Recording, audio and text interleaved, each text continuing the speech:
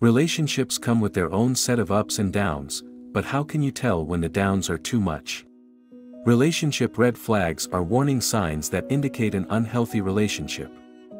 They can range from subtle to overt, and it's important to be aware of them in order to protect yourself from getting into an unhealthy relationship. In this video, we will discuss what a relationship red flag is, common types of red flags, and how to spot them.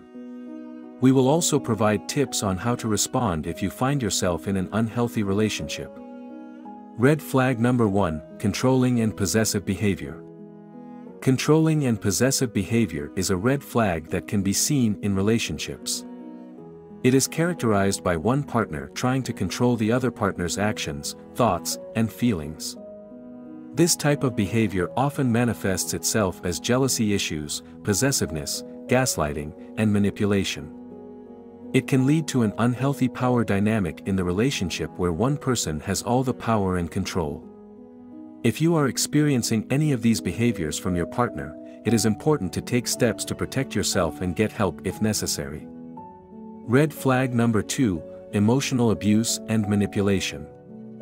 Emotional abuse and manipulation is a form of abuse that can have long-lasting effects on the victim.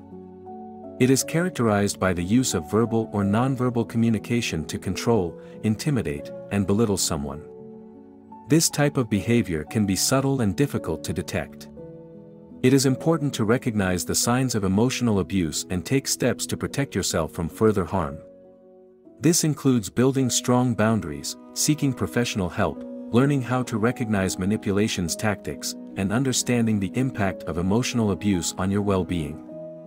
Taking these steps can help you reclaim a sense of control over your life and restore your peace of mind. Red flag number 3, Toxic Communication Patterns.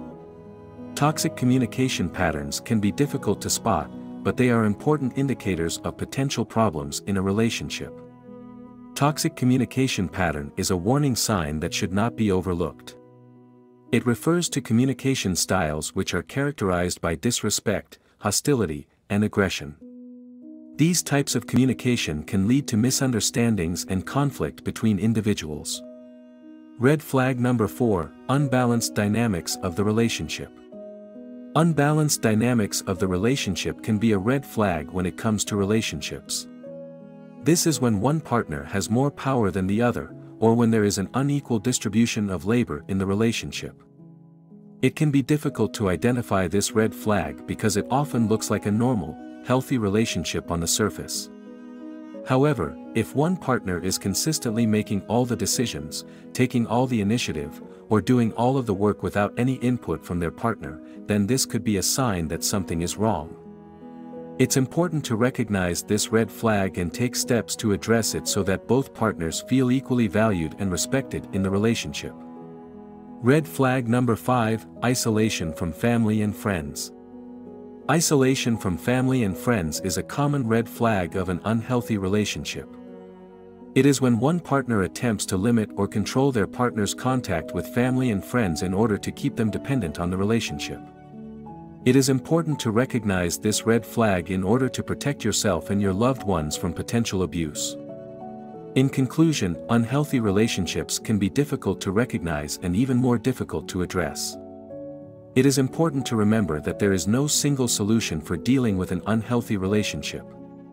Each relationship is unique and requires different approaches in order to find a healthy balance. It is essential to take the time to evaluate the situation and consider all available options before making any decisions.